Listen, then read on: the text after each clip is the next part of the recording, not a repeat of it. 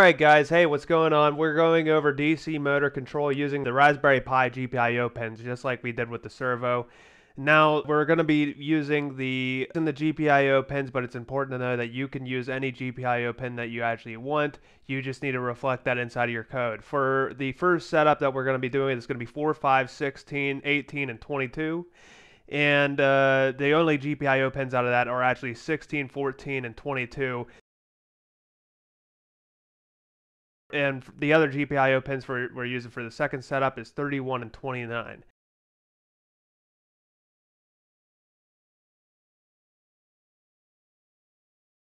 The skills that we're going to be using today are going to be using the actual GPIO pins and we're going to be using pulse width modulation to actually manipulate the motor just like we did with the servo. We're also going to be using time. NumPy, we're not going to be using that inside of the code today, but it is important to know. Time, uh, it's not natively on Python, so uh, we need to actually import that as well and you can see an example of that in the upper right.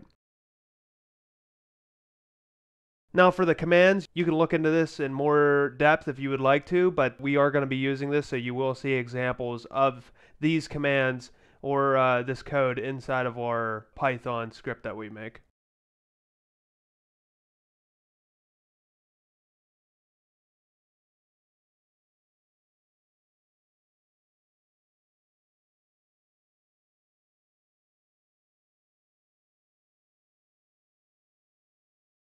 Right now we're just going to actually create the script names.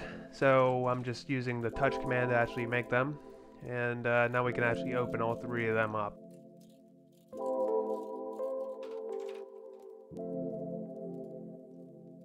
Alright, so the first thing we're going to do, we're actually going to import rpi.gpio and we're going to rename it as GPIO and that's actually what I'm doing with Asder. And the next thing, we're actually making a variable that is uh, representative of uh, GPIO.pwm and we're uh, just sending out a frequency on pin 22 of 1000. And now we're making some methods and I'm just copy and pasting them out, but uh, we are going to be using these methods to tell it to go forward, to tell it to go backward, and then we're also going to send a value into there, uh, and that's the actual speed variable that you'll see up there.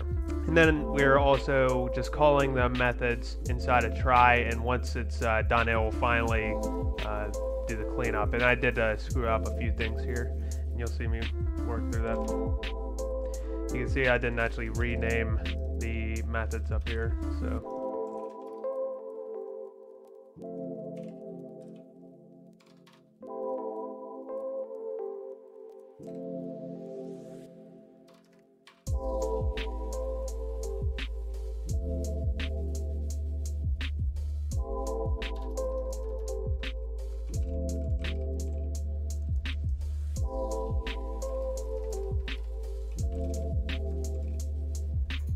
See 50% usage right here.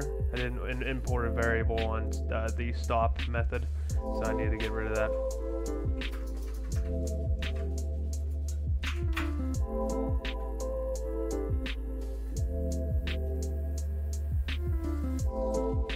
Okay, I'm just going to copy all this code and then paste it out right inside a small DC motor V2 it is important to know that all this code is going to be inside of the description if you guys ended up wanting to take a look at it or manipulate it to use what it, use it for your own projects.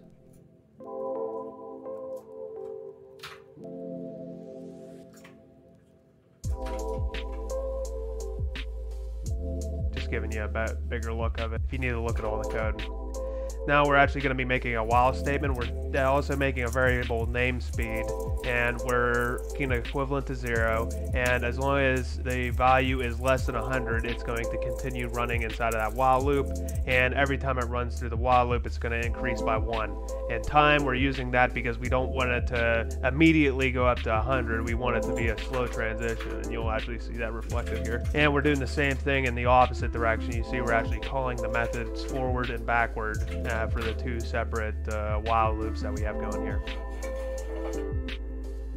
And you see, yeah, goes right up to 100 and then it'll stop. Now I'm going to actually set this up with a little bit bigger uh, H-bridge controller and we're going to be using a little bit bigger DC motor here.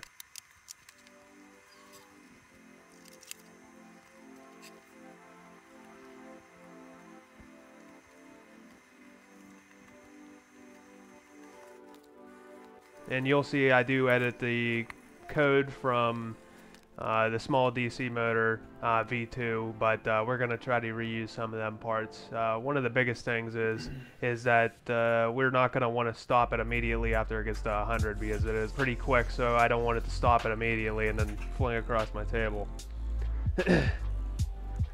so one thing important to know is that we're actually using only two GPIO pins, and that would be 29 and 31, like I said before and uh, they're actually both going to be outporting uh, the PWM signal with this H-bridge controller. So, and they're going to be both at the frequency of a thousand, and uh, we're just naming them two different variables to represent that. And uh, I did end up changing the GPIO.output so that it will actually reflect the new pins that we are going to be using. And this is like I was saying, I wanted to make another while loop, so it came from 100, and then until it got to zero, I kept running through the while loop and just my, subtracted one every time, time I ran through the while loop from the speed variable.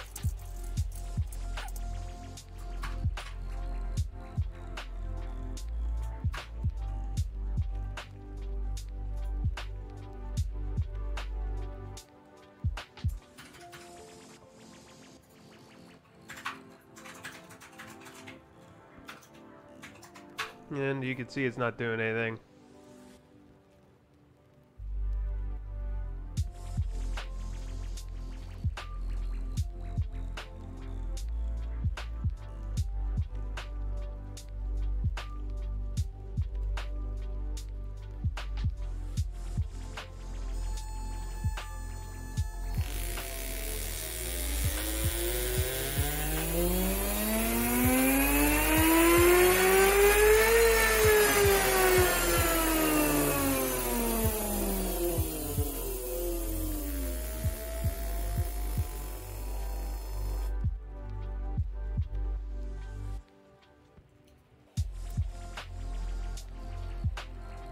Yep.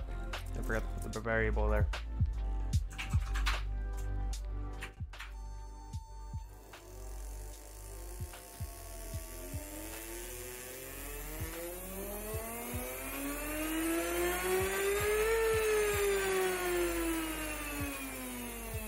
Hey, thanks for watching, guys. Hopefully I was helpful to you.